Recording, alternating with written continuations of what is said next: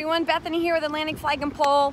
I gotta give a shout out to Hobby Lobby. This is like literally one of my favorite stores. And I know it's partially because I'm a female, um, not to, um, I don't know, stereotype or anything here.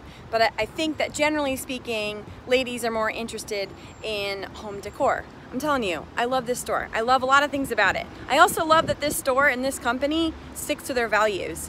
Um, they've gotten a lot of heat over the years. Them, Chick-fil-A, um, apparently, some people don't appreciate it when the CEO of a company um, is a Christian, even though he's still an equal opportunity business and runs everything according to the law. Um, people love Hobby Lobby. People love Chick-fil-A. They're great companies to work for. Um, they've got a great reputation and uh, their products are awesome and their food is great. So what's not to love? Anyway, I strongly appreciate and support companies that stick up for what they believe in. And I'm gonna go inside and probably buy things that I don't need to buy. I'm supposed to actually be returning something, but I don't ever actually return something for a refund when I'm at Hobby Lobby. It's always for something else. So I'm sure I'm gonna walk out with a fake plant or two because I do have a slight obsession. So anyway, shout out to all the companies out there that are holding strong to what they believe in and I hope you go out and you support them.